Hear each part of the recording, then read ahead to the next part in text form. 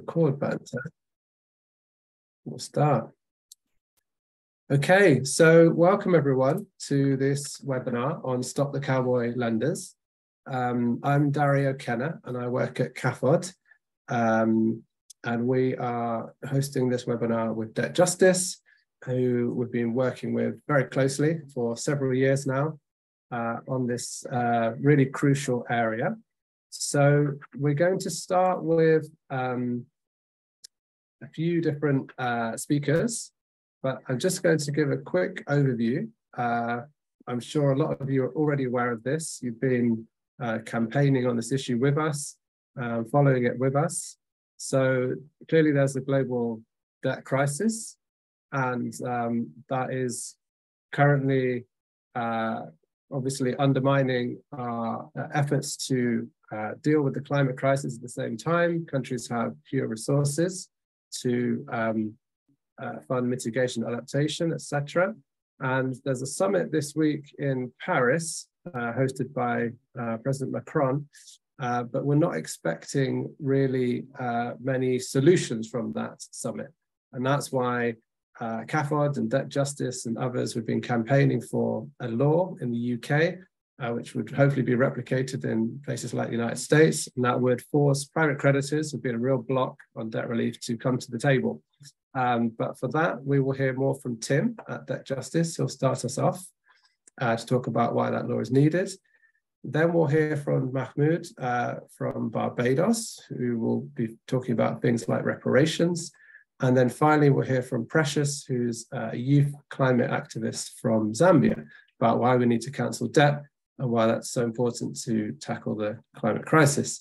And then at the very end, we'll hear from Heidi, who's the executive director at Debt Justice, um, about what we can do with the current campaign. So I'll pass over to Tim, if that's okay. Hi, everyone. Uh, it's great to be with you this evening. So, my name's Tim Jones. I'm head of policy at Debt Justice in the UK.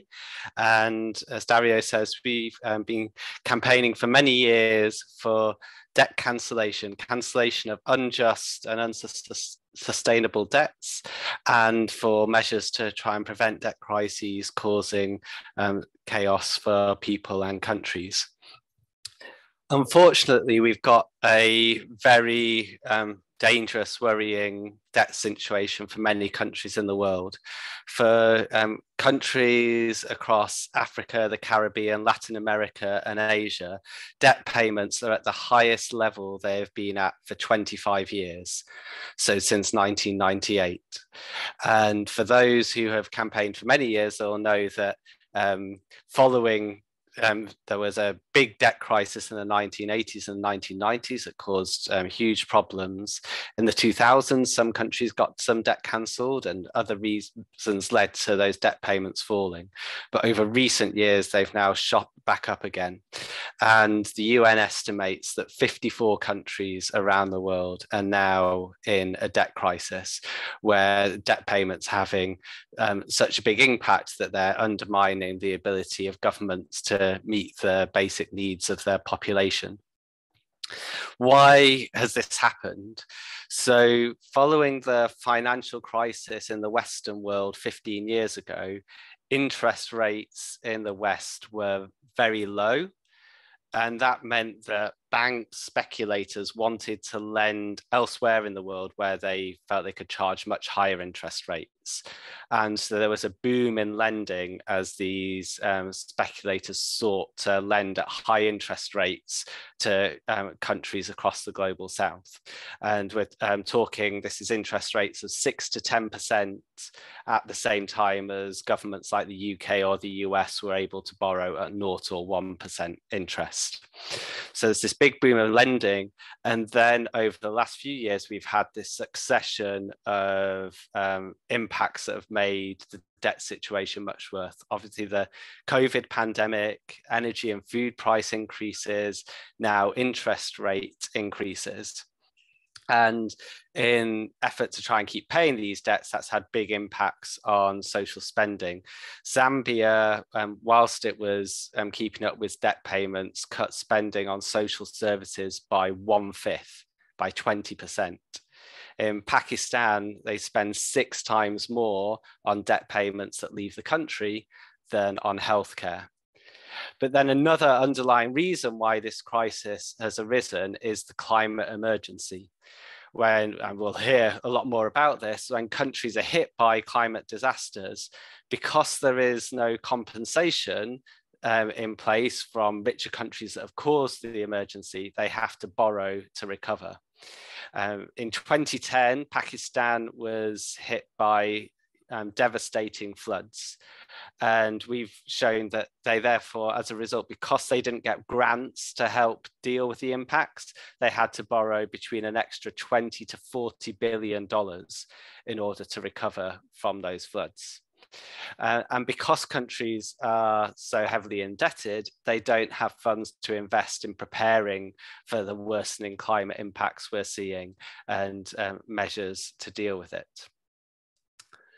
Now, I've talked generally about um, these um, boom in lending.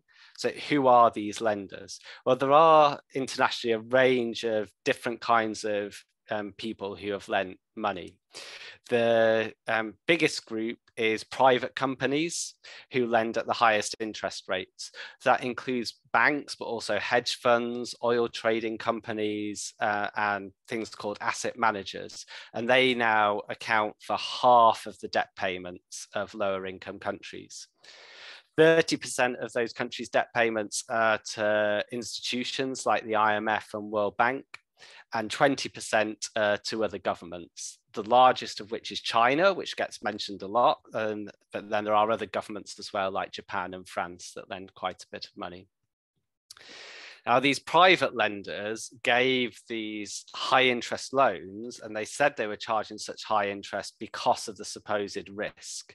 So they said, We think we might not get repaid this, so that's why we're going to charge you 10% when we're only charging the UK government 1% over recent years, that risk has happened. We've had unprecedented sets of risks of COVID and price rises and interest rate increases and the climate emergency.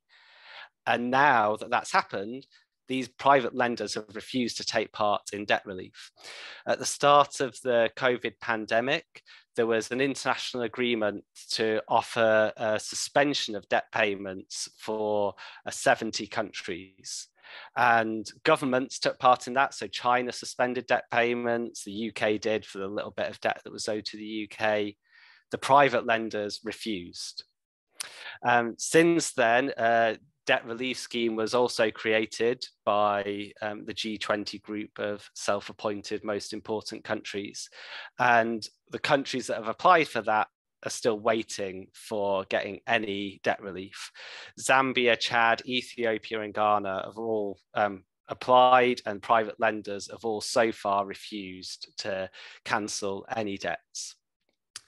Now, often with these private lenders, although we know how much debt is owed to them, we don't know who all the companies are. There's a big lack of transparency as to who ultimately owes owns the debt.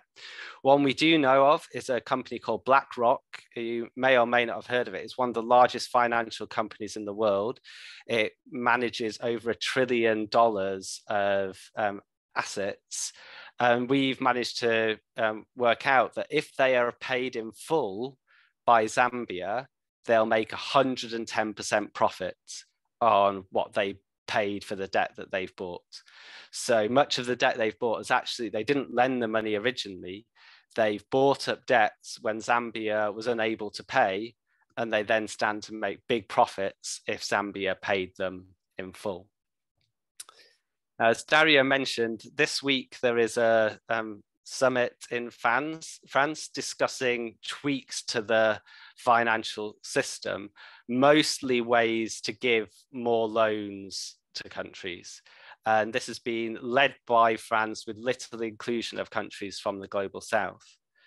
And if, um, if you take a step back, in the 1980s and 1990s, when the last time there was such a wave of debt crises um, across many countries, what happened was that the people who'd lent the money originally, which was largely banks, were bailed out because people like the IMF and World Bank lent more money and that paid off those debts. And they forced countries to introduce austerity, which had horrific results in those countries. And potentially the same thing could happen again now. That if these international discussions respond to a debt crisis by just focusing on how to lend more money and respond to the climate emergency by just discussing how to lend more money, that money will be used to pay off these private lenders, but just leave countries trapped in debt. And so we need to this time make the private lenders take part in debt relief rather than bailing them out because it's the morally right thing to do, because countries need it, and also to prevent future crises. So, one of the reasons why we've ended up back in the same situation again is because these private lenders expect to be bailed out. And so they keep then lending recklessly. And so you get this cycle of debt crises continually taking place. Now, I'm talking from the UK, and I know many people on the call uh, in the UK. And the UK um, is a relatively insignificant country globally, but bizarrely, it has a massive impact on how the international debt system works. Uh, of the countries that are eligible for the G20 debt relief scheme, 90% of the um, debts that they owe to private lenders are governed by UK law. What that means is that creditors can sue the country in the UK if the debtor stops paying. It also means that the UK can set the rules around how debts are negotiated, including ensuring that private lenders take part in debt relief. And there's actually precedent for this. We've done it before. So in the 2000s, there was a debt relief scheme for 40 countries. And in 2010, we got the UK to pass a law which um, ensured that private creditors had to give the same amount of debt relief as the public creditors like governments and the IMF and World Bank had done. And that law was set a very important precedent as to how to make private lenders take part in debt relief. It only applies to that past debt relief scheme, so it doesn't help countries now, but it sets that precedent. So what the UK could do and what we would like and what our Stop Cowboy Lenders campaign is calling for is for a new law that requires private creditors to take part in the debt relief schemes that exist today. There are two um, possible ways this could um, be done. One is like um, replicates the 2010 law and says that um, private um, creditors have to give as much debt relief as public creditors have, like governments. Or another route um, would be that there are actually rules exist in the UK law for cancelling debts of companies um, which allow a debtor to negotiate with all their creditors. And if they get enough to agree, they can then get the court to enforce the others to all agree to cancel um, enough debt to, um, to get it down to a sustainable level. So these two options for laws, um, we think ideally both um, would be helpful for different reasons, um, but there are precedents with the law we got passed in 2010 or how debts of companies are treated in the UK that could be used uh, to um, pass these laws which would give debtors much more power to make the private creditors cancel their debts when they're unable to pay. There are also two other legal things that could be done. One is to prevent um, creditors suing a country when it is in a debt relief process, which would again increase their um, power in negotiations because um, no creditor could um, um try and stop them from defaulting and taking away um, that power in negotiations. And another thing is transparency, requiring loans to be made public when they're given. Debts to governments by their nature should all be public, should be there for citizens to be able to scrutinize the loans that are being given and how the money is being spent. But actually, the private loans are the most secret in the world. There was a scandal a few years ago that's still having horrendous impacts in Mozambique, where banks in London lent money secretly that was mostly stolen and has caused a huge debt crisis. But across the board, these loans from private companies are very untransparent. We don't know who the main lenders are. We don't know the interest rates they're being given at, and we don't know until a couple of years later that a loan is even being given. And so um, making lenders be transparent is another thing the UK could do. Since we launched the campaign, we've had um, some big impacts. The International Development Committee of the UK Parliament have called for the law to be passed. The Labour Party front bench spokespeople have asked the government to consider it. And actually, the um, Development Minister, Andrew Mitchell, gave a vaguely positive response to that. And we've also had lots of positive responses from opposition MPs. The other place in the world which is important for this um, idea of passing legislation is New York because the contracts that aren't governed by UK law are governed by New York law. And there they've actually got a draft bill that has been um, introduced in the New York Assembly. It got significant support. They didn't quite manage to get it to a vote a few weeks ago, but hopefully in the next year they will. And that's a realistic prospect that New York could pass legislation.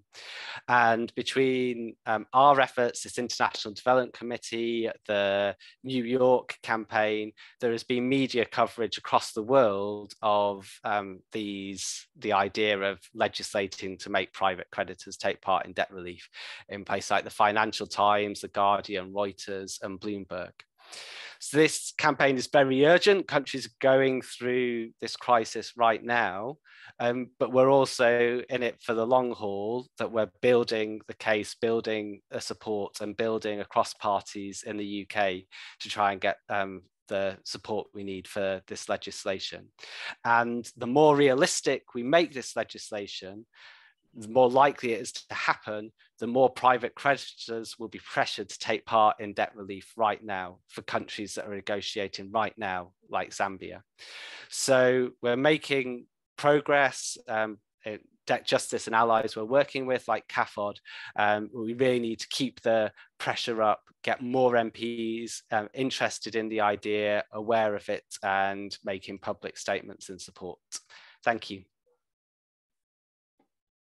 Okay, um, that's brilliant. Thank you so much, Tim. That was really clear. You're you're so good at explaining really complicated subjects um, in such a clear way. Even if when we meet with uh, civil servants at the Treasury, even though it's so clear, they they still don't want to uh, to do what we want them to do, which is why we need to carry on um, campaigning and keep up the pressure, as you said. So we're now going to pass to Mahmood Patel, who's in Barbados. He's a coconut farmer and activist. And uh, Mahmood, it would be great to, to hear from you. Um, I think you're currently on mute um, about yeah how uh, how debt has affected communities in, in Barbados and what you're campaigning on and yeah how uh, like citizens in the UK can can can campaign in solidarity with with communities uh, on the front line of the climate crisis. So over to you, Mahmood. Good good evening and good afternoon here in the Caribbean. Um, my name is Mahmood Patel. I am a regenerative agroforestry farmer in Barbados. I plant a lot of coconut trees and um, in some ways trying to replant all the biodiversity, the flora biodiversity that we have lost since sugarcane monoculture. Actually, to highlight the crisis that we have, we're actually having a hurricane, Bret, about several hundred kilometers to the east of us. And if I sound a bit nervous, it's because we will probably have a huge storm tomorrow afternoon. And I don't know what damage is going to cause in the actual forest. But I'd like to, to maybe change the conversation slightly into going to a more tactile, um, as a farmer, um, presentation about how this debt and the climate emergency affects us on a very physical, tactile level. Um, the climate emergency started with the development of plantation economies and the deforestation of the lands in the Caribbean, of the Caribbean and the Americas. One can say the Industrial Revolution at the root of this climate crisis and the banking system that it created was funded by the exploitation of monoculture economies such as sugarcane in Barbados. Um, I see the legacy, or I can still see the legacy in the actual soil and topography that we work. Coco Hill Forest is which the forest that we work on is beautiful to look at. But when you scratch the surface, you can see the trauma of history, how this land has been exploited and sterilized. The land is scarred by hundreds of years of colonial monoculture extraction. And for me, sugarcane is the same thing as mining oil or bauxite. It is, it's taking all the resources out and putting back in nothing.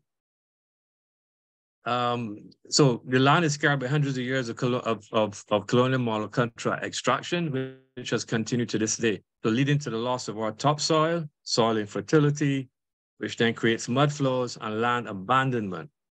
Barbados had primordial forests, and its forests used to produce everything which the indigenous inhabitants needed. But now, for whatever reason, we are importing almost 85% of our food, which is unsustainable. I like to say that the Europeans, the Spanish, the English, the French, and the Dutch built their empires through the exploitation of these resources and peoples, starting with the Caribbean and then the Americas, then Africa and Asia. Sugarcane and the plantation economy it spawned generated so much wealth in Barbados. At one time, we were called the, the gem in the English crown. Um, that the model, this model that was copied in Barbados was replicated in the Carolinas and then North America. Huge wealth generated by dedicating Barbados to producing one crop, sugarcane, for export, export, and that wealth, part of that wealth helped to create the industrial revolution and development in Europe. Barbados is one of the few places in the world where the entire land space was planted, plantationized for sugarcane. And that came at the expense of all of our um, biodiversity and also even domestic food production. So one can argue, also argue that psychologically, the 400 years of monocrop also created a dependency culture for imported food and solutions. The climate crisis, the, now the climate crisis also brings change in rainfall patterns. It's also bringing sargassum seaweed, droughts, and then devastating hurricanes. These costs mount, and the result is that we get deeper and deeper in debt to the countries that colonized us and exploited us in the first place. As a result, Barbados is in a serious debt crisis. The colonial authorities did not really invest in any kind of developed economy prior to independence. And then at independence, we actually have a, what I would call a dysfunctional civil service, a slightly broken education, education system, and we don't have the means to get out of debt. We are not considered poor enough to have like to have cheap loans and grants from international institutions.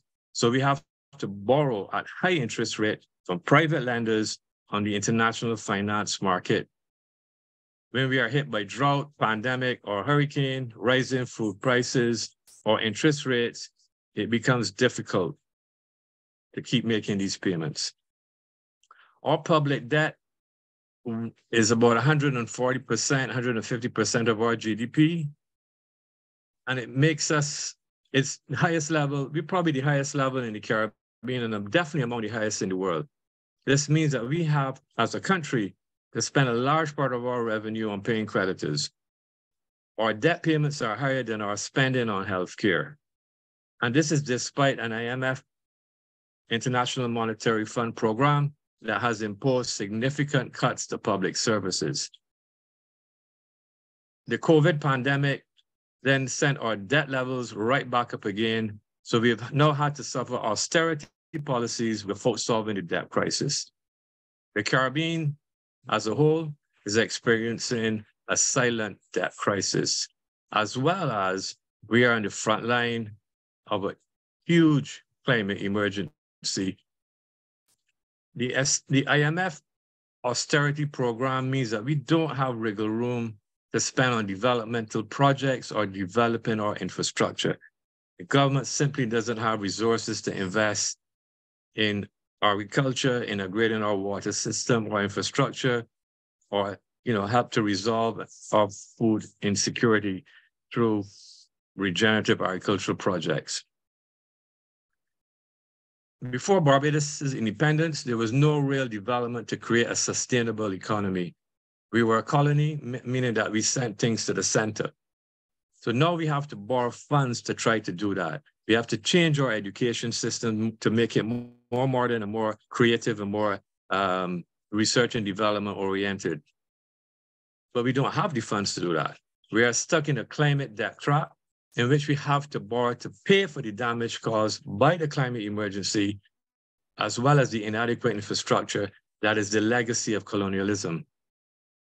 But the repayments and the huge interest rates drain our resources and prevent us from investing, not only, not only to be able to feed our people, but if we don't fix our structural challenges, we go further and further into a trap this is, for me, in my opinion, this is a direct result of empire and wealth extraction to the colonial center.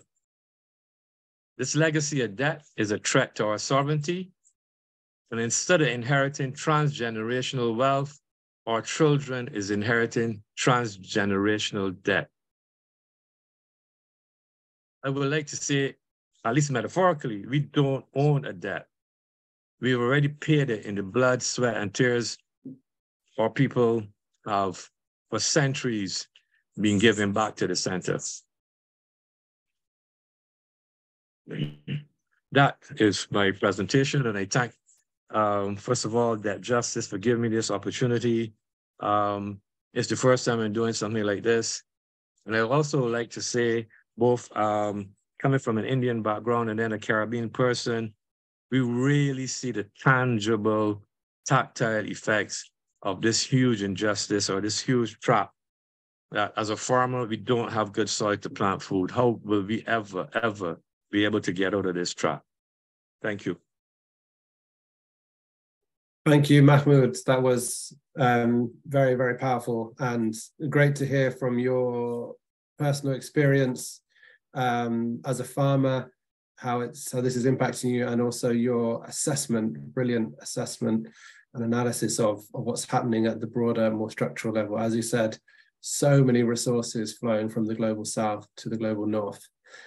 We will now move uh, over to Precious uh, from uh, Youth Climate Activist from Zambia. And it'd be great to hear from you about the campaigning that you're doing and uh, the links that you are constantly making between debt justice and climate justice. So over to you, Precious.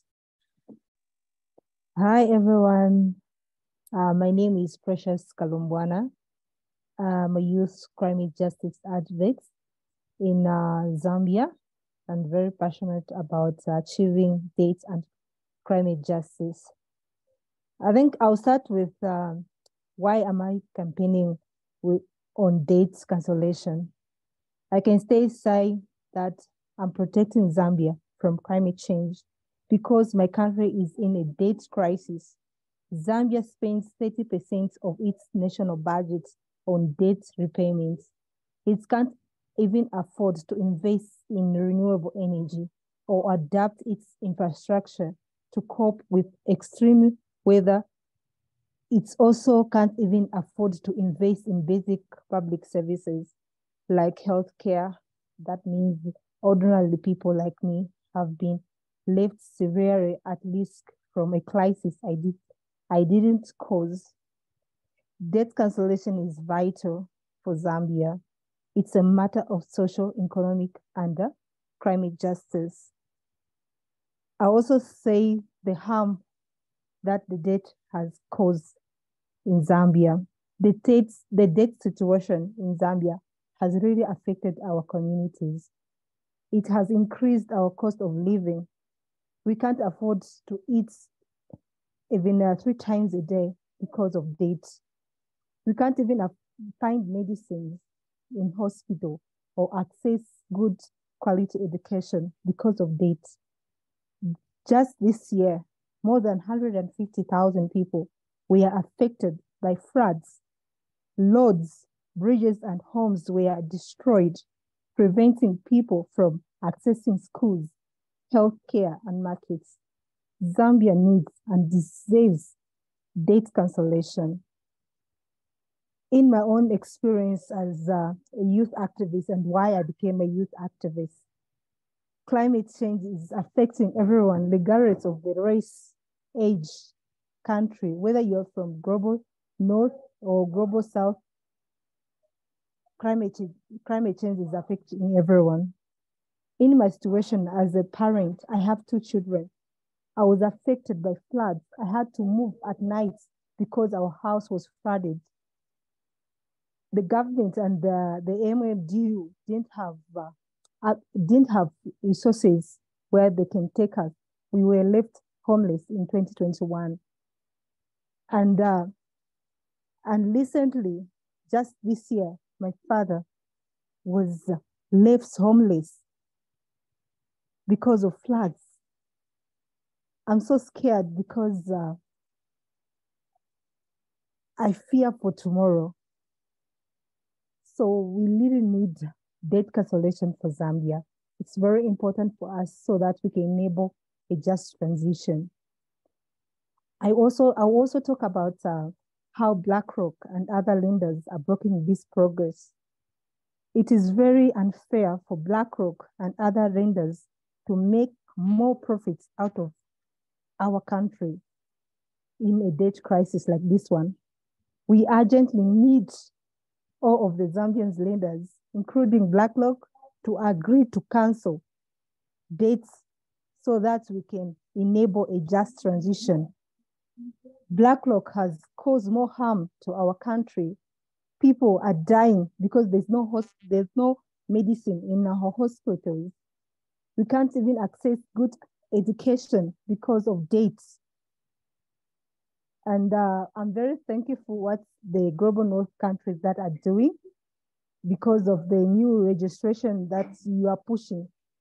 Thank you so much for that, what you're doing the global north countries, they're trying all the ways to fight for global south countries so that the date is canceled. We are very thankful for that. Zambia needs and deserve date cancellation. Thank you so much. Thank you, Precious. Um, again, as uh, Mahmood did for for yeah, really sharing your uh, experience of, of what's happening, what you're seeing, um, and yeah, we we are fully aware of um, just how urgent all of this is. And as you as you said, you gave examples of lack of resources for, for healthcare and, and what that means for people's lives. So yeah, this this this is this is really urgent. Plus, on top of that, the flooding, as you mentioned, um, uh, there's uh, Mahmood said uh, there's a hurricane on the way again, as as per usual in the Caribbean. So these are issues which are happening uh, frequently, and which is why we need uh, that structural change, which is we're referring. This webinar is all about why we need legislation, for example, in the UK, to get private creditors to participate. Please uh, in, in debt relief, please put your questions in the chat. I just wanted to ask one question of Tim uh, first to get things going, which is that uh, remarkably in New York, um, campaigners uh, like ourselves um, were be pushing for a while and very nearly got a law which is uh, not exactly in terms of technical side what we may be pushing in the UK, but in terms of uh, trying to reduce that power asymmetry between countries in the global south and private creditors, like you mentioned, like like BlackRock, that law would would would have helped do that and to increase the chances of, of higher debt relief. So just maybe could you, Tim, just just explain um, it's it's a kind of sign of hope, but it didn't happen in the end, but as in how close it actually was uh, to actually get the kind of legislation that we're talking about in a key jurisdiction, which was New York, because as we know, a lot of debt is held under either New York law or uh, UK law. So maybe you could just explain that and, if, and briefly, that would be really helpful. Um, yeah, I can try. Um, and so the background is the um, of international debt contracts roughly of governments roughly half and half are governed by new york law or english law for it um, the lower income countries, it tends to be more likely that it's UK law. Um, of countries that are particularly um, going through um, debt negotiations at the moment, Zambia, Ghana um, are, have debts owed under UK law, also Pakistan, whereas Suriname and Sri Lanka have debts under New York law. So both New York and the UK are really important. The campaigners managed to get the law passed through one of the committees in the New York Assembly, um, but they didn't manage to get it introduced to the floor for a vote of the full um, New York Assembly. Um, there's lots of bills that try to get passed in a session, and the um, New York Assembly is like it runs the New York State in the US, uh, but also it doesn't sit for that long each year. So they have a limited amount of time to get it passed. So yeah, unfortunately they got close. They managed to win a vote, but they didn't manage to get the um, bill passed in the end, but they can bring it back um, again um, next year to the session, and um, it has um, it kind of further increased the publicity around this kind of legislation. I think helped in further putting pressure on private creditors that this is the kind of thing that's coming for them if they continue to be obstructive. Uh, so it's definitely um, shown some progress, um, as well as the things that we've had in the UK recently, like the International Development Committee report. Okay, brilliant. Thank you, Tim. And there was just picking up on again why we're talking so much about this legislation. You, you mentioned something in in your um, in your presentation about trying to avoid this uh, this particular situation happening again. So this uh, cycle, this debt trap um, of, of basically, uh, in this case, private creditors like hedge funds and asset managers being bailed out basically um, so that they continue to get paid while uh, everyone else suffers in in effect and i was just really struck by something that mahmood uh, referred to which is um, you know, saying that actually the debt that Barbados owes has already been paid many times over uh, through, you know, blood, sweat, and tears. And I just wondered, Mahmood, if you could maybe just reflect on that uh, in a bit more detail, because something which it's always important to remember um, is that debt is political obviously. It's not just a technical thing. It's not just economic. Um, but sometimes um, if, if say Tim or I are meeting uh, civil servants from from our treasury or, or meeting um, uh, staff from the World Bank or IMF, they try to keep it technical. You know, they they try to keep it as this country, say Barbados, owes the money they need to pay, whereas actually it is political. Yeah, Um, and so it's so crucial to to to just restate, as you said, that the debt has already been paid, and that you know to start off from that point and then discuss how to deal with uh, the the existing debt. So maybe if you could just reflect a little bit more on on the on that fact that the debt has already been paid. Who are who are the creditors and who are the debtors? Well, I, I would say you know that also has history right? We and, and I think sometimes what we do is we contextualize it in a two-dimensional construct. Barbados owns the IMF or, or UK banks or whatever, $100 million or let's say a billion dollars. But there's a historical construct or a narrative to this debt and how it's created in the first place, and it's based on power. Who had the power? Who has the power? And who lends the money? And who borrows the money? And at what terms are you borrowing? Because you obviously need to develop.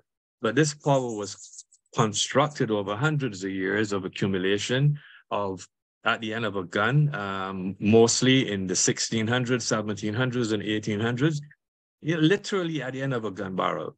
And I think sometimes that is that is maybe you know not in the discourse, but that has history. And and then I mean maybe and then and it's connected to power because if I had the power not paying the debt, it wouldn't pay the debt. If all the uh, the uh, the third world economies or the developing worlds would get together one day and say we're not paying the debt, because it's an equation, debt and uh, a credit and a debit. But then what would probably happen is that a navy would sail down into Barbados waters, you know, at some army and, and have a discussion about some kind of occupation. So the history of debt, I think, has to be taken into the discourse because we conveniently forget that this debt was built and this power structure or imbalanced power structure was built over a long period of time. How do we fix that? I am not sure. Um, I've, I've never really liked the idea of a dollar repatriation, but I would think it needs some kind of help with restructuring the education system, restructuring the development challenges, restructuring the idea of developmental loans rather than interest rates. Maybe there's another conversation to have. I, I, but I I think the challenge with that that we keep forgetting is the historical line. In the background, you're going to be hearing rain. it's coming. Okay, thank you, Mahmood, uh, for that reminder as well of the, uh, yeah, living through the, the climate emergency day to day. So uh, just building on what uh, Mahmood was, was saying there about the, the historical nature of this, um, I'm going to ask you, Precious, uh, about, about these asymmetries in power and uh, well, yes, military might being used to, uh, well, to, to impose that and then for it to be paid. What do you think about uh, reparations, Precious, in terms of um, well that historical and colonial debt, um, and also the climate debt and ecological debt? Do do you have any anything to say about about the need for reparations, uh, Precious? Uh, I think on that I can say that uh, Zambia also needs reparation since uh, Zambia got its independence in uh, 1964 uh, through British. I think uh, we have uh, we have uh, we have uh, a weak economy that since then until then until now we're still struggling with uh with dates and everything. We need even restructure with our education and everything so that we can enable just transition. Yes.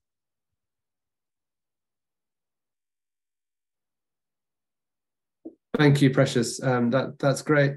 And just reflecting on uh, what's happening this week, which is this this uh, uh, Paris summit on uh, a new financial pact, which, as we've uh, as several of us have, have mentioned, uh, is is being held. What what's I mean, Tim's already said that he's not expecting much to come out of it. I just wondered if Mahmood, maybe you you you had something to say about about this summit.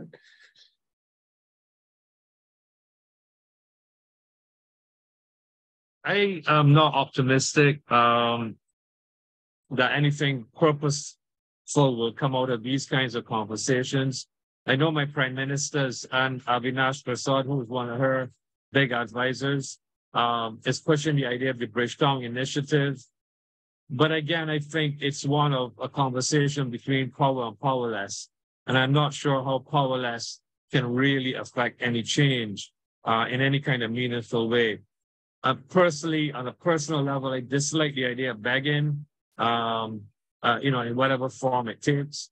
But I so I'm personally not optimistic, but I do think that the, the Bridgetown initiative is a good start in some kind of conversation honestly, I don't have a, a, a suggestion or a, a, solution.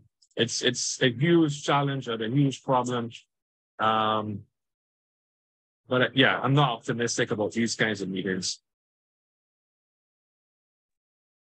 Okay, thank you, thank you so much. Uh,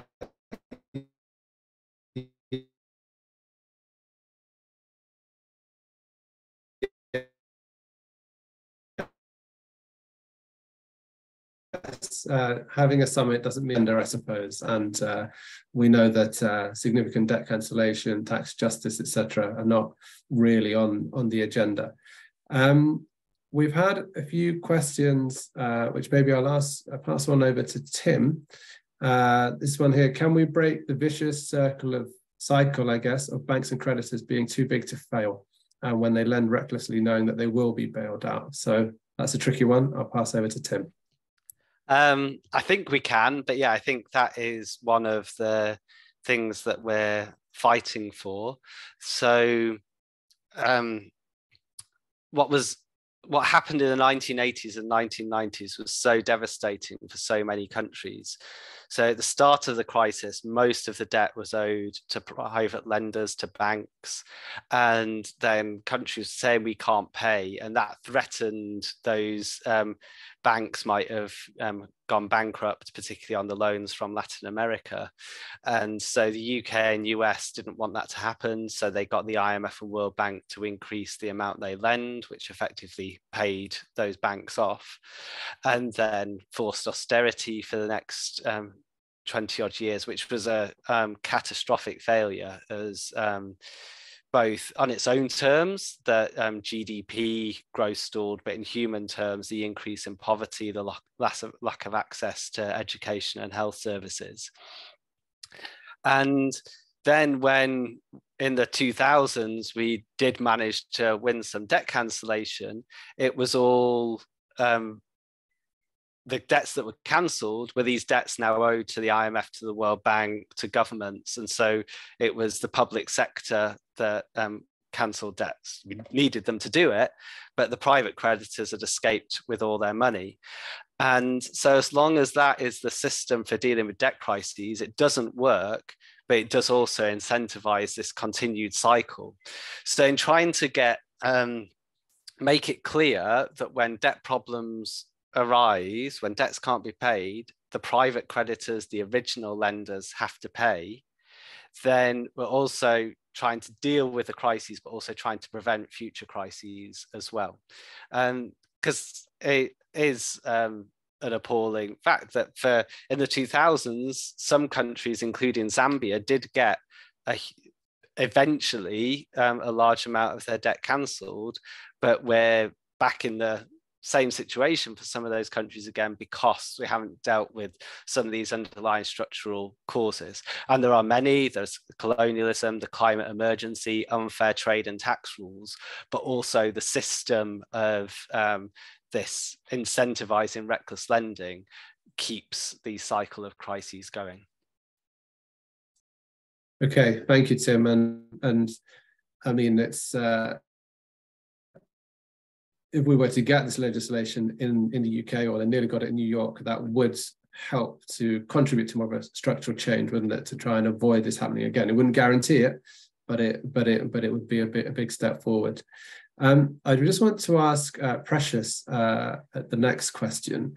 So uh, it's a question about um, the particular role of governments who are in a debt crisis. So I imagine you would want to talk about Zambia, but you could talk about uh, other countries if you wanted to. Um, and the question was about are they calling for debt cancellation? And if not, uh, why not? So perhaps you'd like to talk about the Zambian government's position uh, in relation to, to, to debt relief and to the debt restructuring that it's currently negotiating with its creditors. Uh, I think you can, you can repeat your question.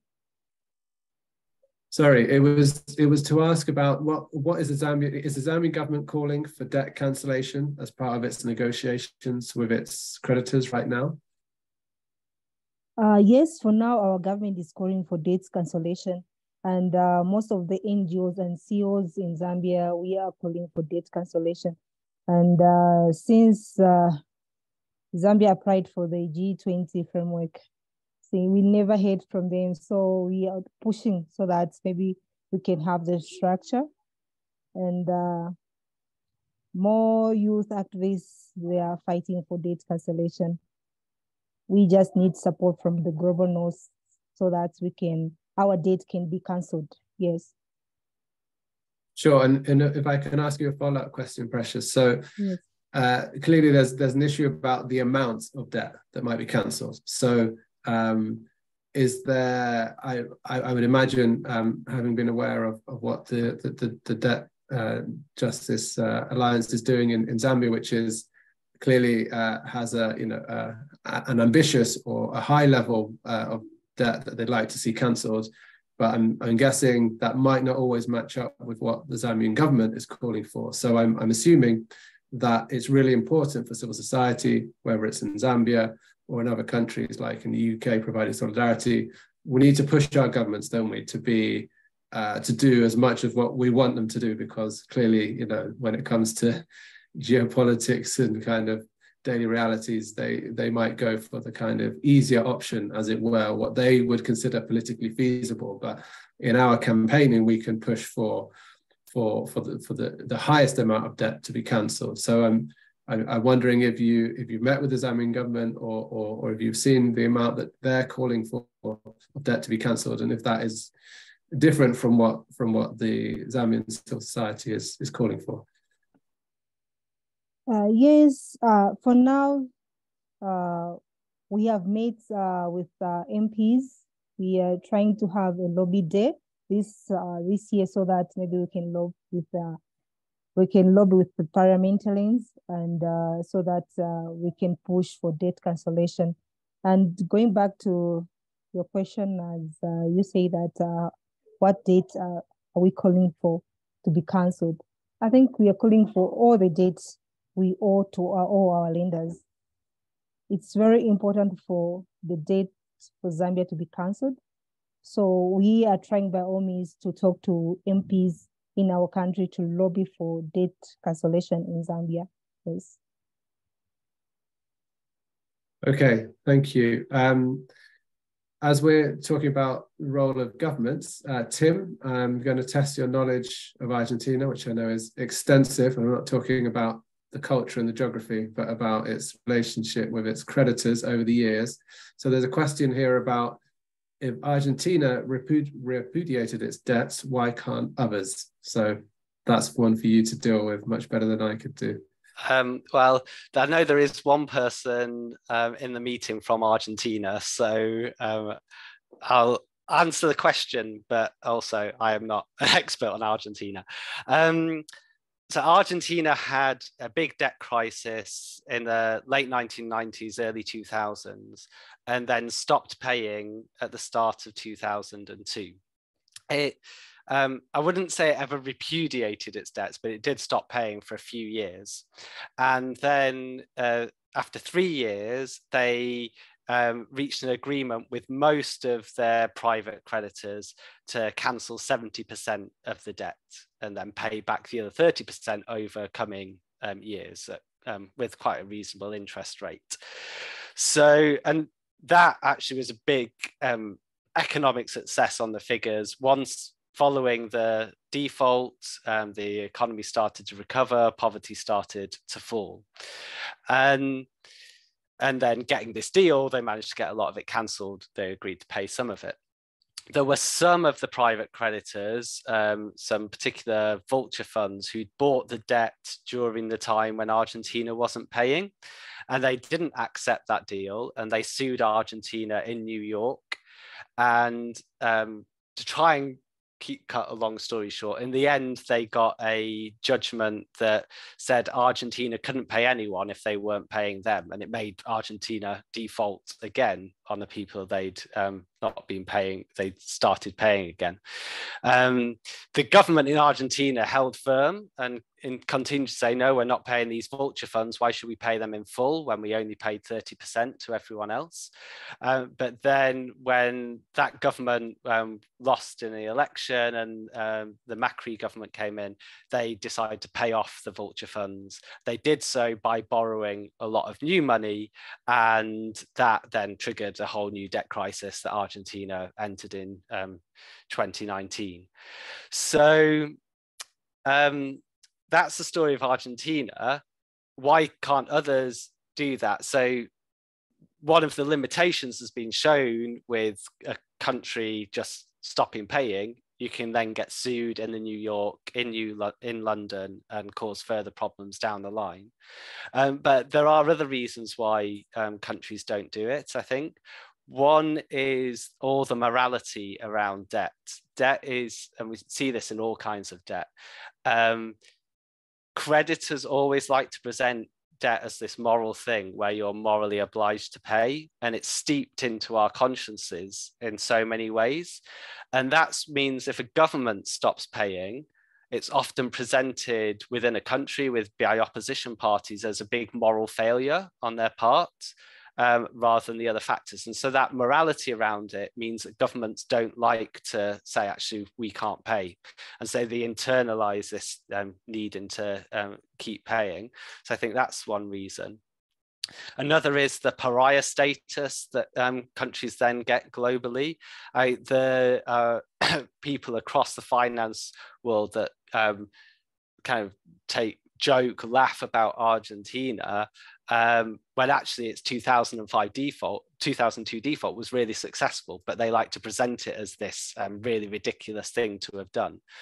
Uh, and then the finance sector also um, puts out this propaganda that if a country stops paying, they'll never be able to borrow again, which just isn't true. The history, including Argentina, is a prime example of this.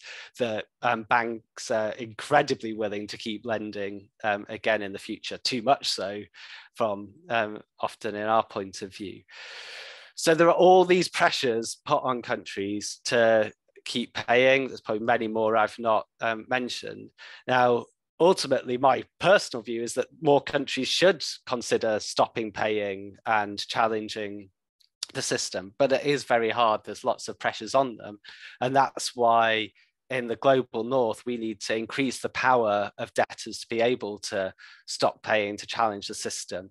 Things like the legislation we're campaigning for is all based around trying to increase the power of debtors in their relationships with their creditors. Okay, thank you so much, um, Tim. That was that was a great answer to what was quite a, a big question given Argentina's history. Um, in, in terms of dealing with its debt. Um, okay, so uh, Mahmood, if it's okay, I'll, I'll, ask you this next question. Um, there's a question about uh, taxes, carbon taxes, taxes on financial transactions, and whether these kind of taxes would be uh, a good way to fund uh, reparations, uh, to fund um, things like climate mitigation and adaptation. What do you have a view on on on on these types of taxes?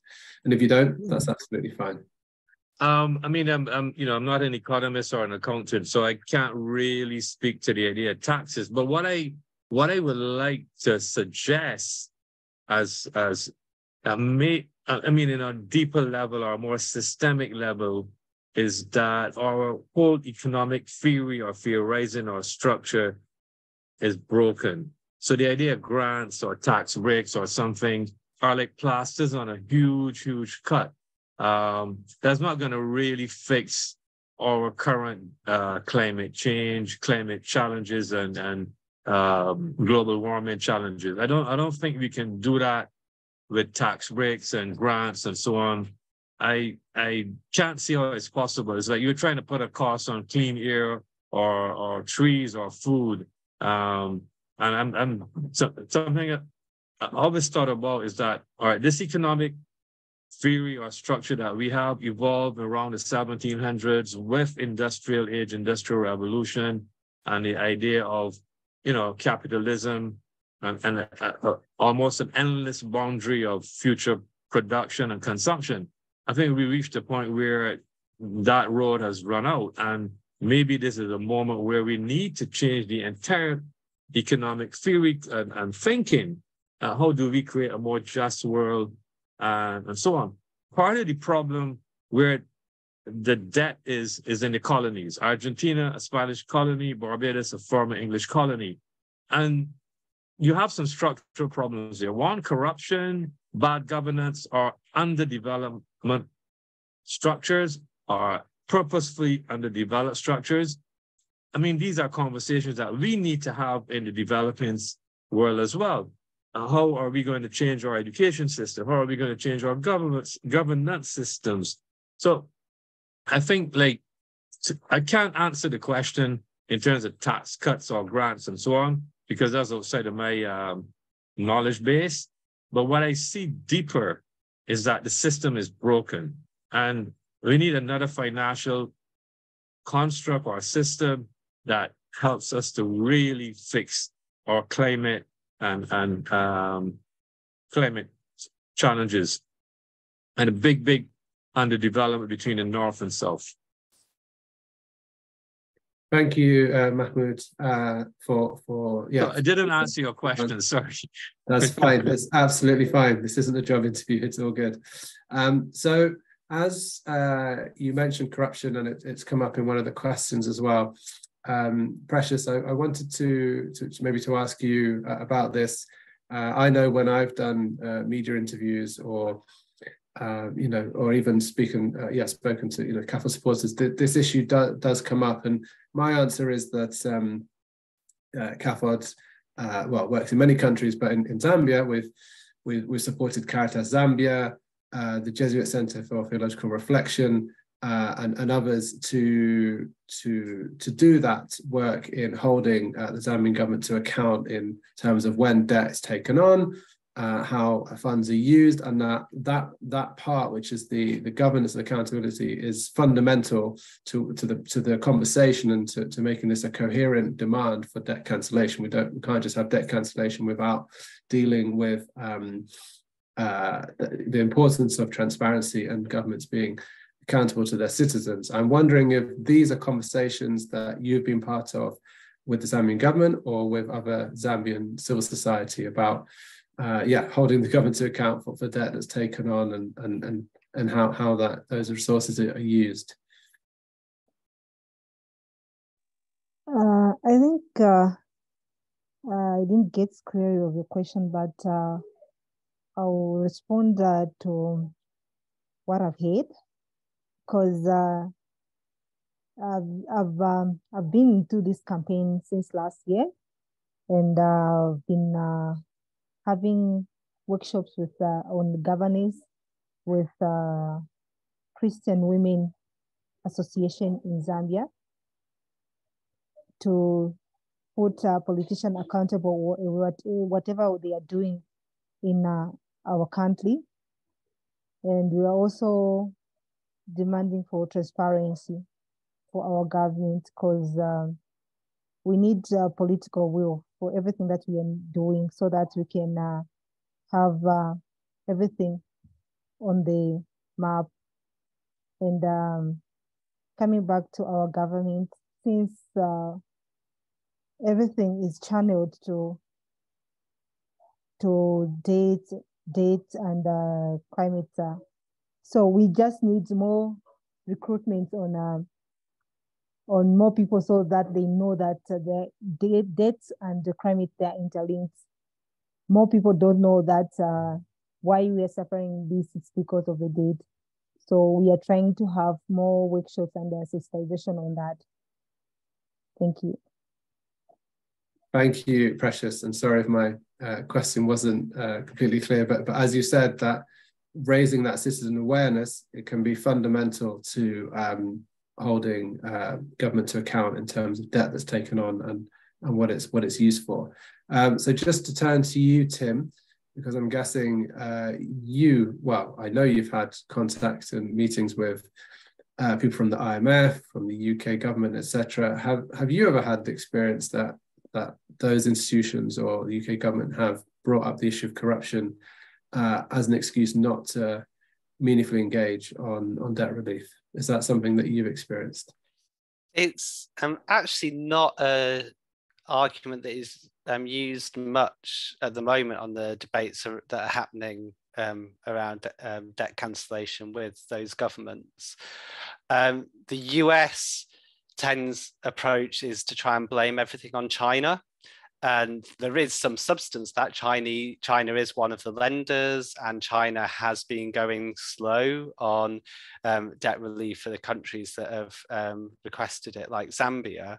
But that is in the context where the Western private creditors are owed more money they did not suspend any debt payments during the COVID pandemic when China did. And now China is very concerned that they might end up giving debt relief again and the Western private creditors don't. So, actually, the thing that would unblock international debt negotiations is if the US and UK made their private companies take part in debt relief. And in um, the UK, they they have even a less of a developed answer than that in some ways. They say that it can just be led to the voluntary action of private creditors, that they'll take part in debt relief in the end. We just need to be patient. Um, and so that's why they um, say they're not doing the willing to um, make private creditors act at the moment. Um, one story on the um, corruption and why actually corruption is a further reason why um, debt should be cancelled. I think I mentioned briefly in um, 2013, two banks in London lent $2 billion in secret to some companies in Mozambique and it was all a front on the part of the bankers and the comp- another company and the politicians involved to steal the money. And it plunged mozambique into a huge debt crisis that is estimated to have cost um, people 10 to 15 billion dollars in total. And campaigners in mozambique have been very clear that those are debts that they had no say over no control over so they should not have to pay them. It's not their debt it's entirely the people responsible are the banks and the politicians, not the um, people of Mozambique. And so um, there are um, some of these uh, kinds of deals happen, but it's a further reason why debts need to be cancelled. And it's the in the global north, we have to recognise um, our role in it, the role of London banks, the failure of the UK to regulate them properly. And so, why we also need um, regulations to make them act transparently and accountably so that um, to prevent those kinds of deals happening again in the future. Okay, thank you so much, Tim. We're now coming towards the end of this webinar. Um, so thank you so much for everyone who is attending. I'd just like to have a quick chat, if possible, with Heidi about some of the questions that come up about uh, what we can do in the UK um, and yeah, you know, what can be most effective. And I thought um, just to give you a difficult one at the start, um, which is about the broader financial system. This is a great question that, that's come in about um, how can we campaign to to affect that that broader financial system uh, to prevent this these debt crises multiple uh, happening again? So uh, you can try and answer that but good luck.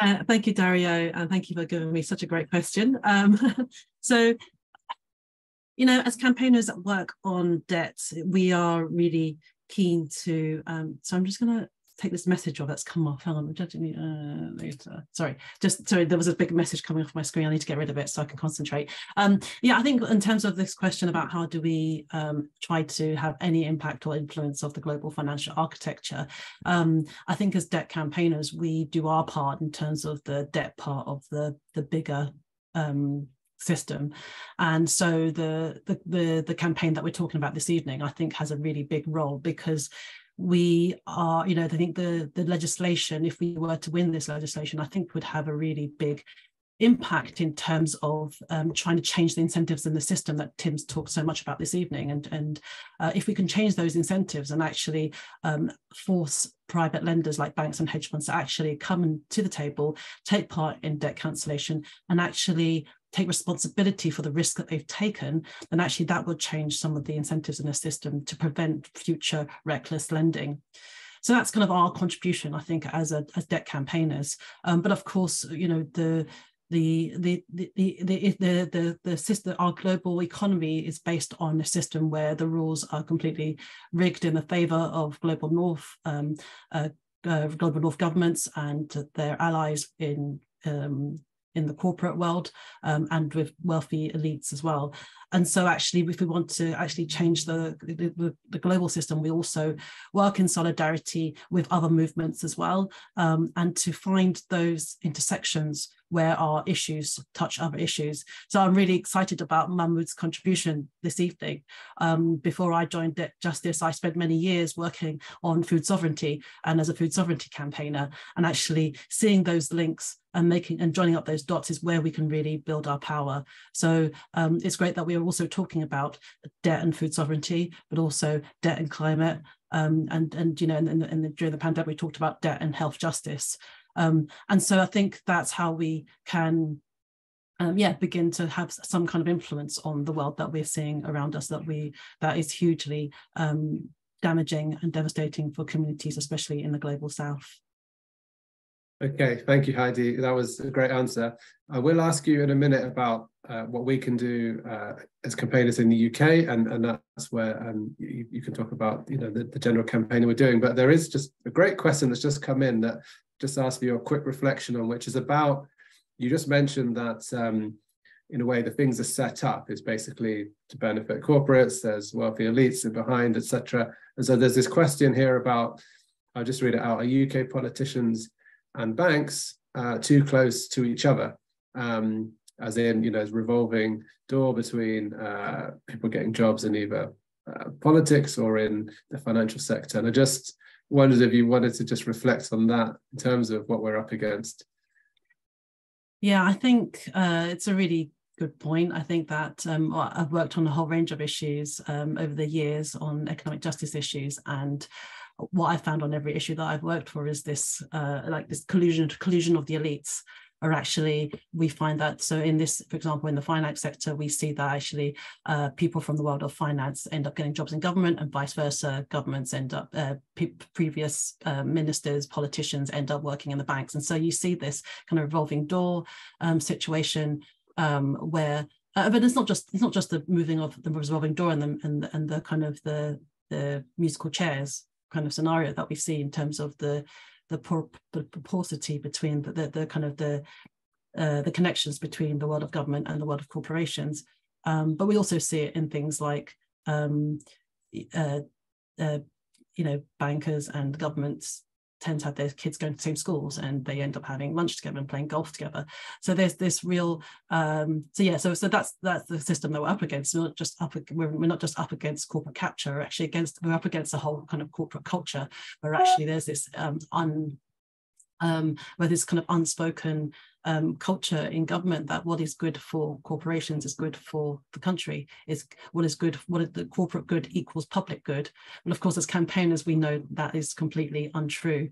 Um, and so I feel like this is the knowing these knowing that this is how the uh, the rules of the game have been set up, for me, that actually makes me even more um, angrier, but also makes me even more determined to actually take action um, on, on, on some of these issues that we can really have an influence on. And I think this this is why I'm so excited about the, the legislation campaign, because actually, as Tim was saying earlier, actually, if we are in a key jurisdiction for debt contracts, uh, so as UK campaigners, we are uniquely placed to be able to um, uh, influence our decision makers, our, our, MPs, and our politicians to actually uh, see this idea that actually, if we could pass a legislation in the UK context, in the UK Parliament, it would have a it would have a, a disproportionate impact um, on debt contracts across the world. Um, so yeah, so I would say yeah that actually use this knowledge of, uh, of how the system is set up to spur you on to take more action to uh, win economic justice for um, people impacted by these policies that we see across the world. Okay, thank you so much, Heidi. And so, yeah, final question, which is probably the one you were going to answer anyway, is what can we do uh, now as uh, campaigners? Somebody put, could we do direct action? Um, you mentioned uh, golf clubs. So do we need to get a sponsorship? What's the uh, what's the thing we need to do next? Yeah, no, it's a great question um, because, and I was hoping, and I was hoping, as I, I wanted to wrap up this session anyway, to kind of outline what we can do because, like any good campaign, uh, like any good campaign, we don't just want you to know about the campaign. We want you to actually take action with us. And so I really encourage everyone to get involved. And I'm going to sort of summarize a set of things that you can do, and I'll just also post it up um, on the chat as well because there's some links there. Um, but yeah, so you can, so first of all, you can read more about this issue. Um, I've put up a couple of links um, to places where you can read a little bit more about how this legislation could work. Um, we've got a blog post and a briefing which with more policy detail for anyone who wants to really delve into detail um, of how this legislation would work. Um, we've also got some actions um, that people can take part in. So we are trying to, at the moment, trying to call on as many MPs as possible to write to Andrew Mitchell, who is the International Development Minister, um, to really demonstrate the public pressure that is building on this issue, with both with MPs and with government as well. And as Tim mentioned earlier, Andrew Mitchell has actually um, hasn't, you know, has made some kind of sort of friendly noises towards the idea of, of keeping an option of legislation on the table. So we, we feel that that, that is definitely um, an area that we want to push on. Um, and if you want to go one step further, you can also arrange to actually meet your MP to talk about this, um, actually meet, uh, uh, constituency meetings um, with MPs tend to be much more um, uh, impactful than just sending an email. So if you have time um, to do that, then do um, uh, fill in the link that I've just posted on the chat um, because we can send you some resources to help you to do that. And then, uh, yeah, our campaign is also our, our, campaigns are all supported by individuals, activists, and supporters. So if you want to find out more about giving, then do check out our donate page. And then if you want to receive updates um, on the campaign as well as our latest actions, do sign up to our mailing list as well. And those links are all on the um, on the on the chat that I've put up.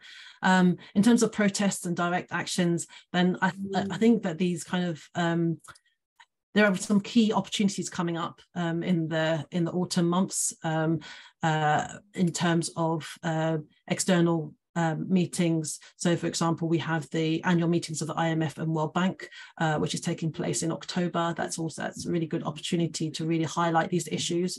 Um, we've also got the COP um, 28, so that's the International Climate Summit, which is taking place at the end of the year in December um, in the UAE. But there will be solidarity actions taking place across the UK. Um, and in terms of targets i would say uk government and mps we want mps to start building. We want um, to start preparing for a potential change of government. So we want to be seeding this idea with opposition parties so that when they come into government uh, that actually you know to my when they come into government that, that actually that the idea is already there. Um, and then um, and then the, the uk government the current uk government we don't you know we don't realistically see them taking up this um, legislation, but the UK government does play a key role in a lot of the multilateral spaces where uh, debt is talked about. So um, IMF, World Bank, G7, G20, uh, and so on. So actually keeping up the pressure on the UK government is also really, really helpful. So I hope that gives you a, a kind of a, uh, uh, and sort of ideas on what uh, what we can do um, together in this campaign. But also, we're really open to ideas that you have as well. So do feel free to add in the chat other campaigning ideas that you think can help push this idea of a campaign. But also, if uh, yeah, but also feel free to email us or, or uh, tweet at us, or you know contact us, contact us through social media if you've got other ideas around the campaign. We're really open to to hear other people's ideas as well. Um, yeah, so thank you for that. All right. Well, thank you, everyone, uh, particularly to our speakers, Mahmood, Precious, and Tim. And uh, also thank you to everyone at Debt Justice and CAFOD who's organized this and done all the behind the scenes work.